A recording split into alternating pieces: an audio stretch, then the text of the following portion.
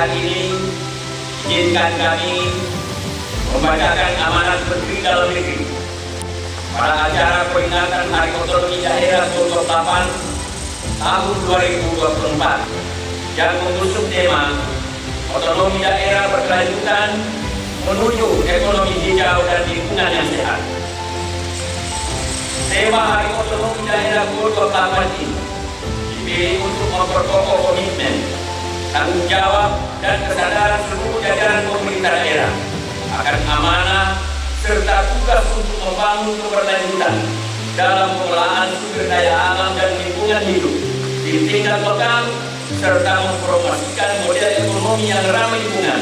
untuk menciptakan masa depan yang berkelanjutan bagi generasi mendatang.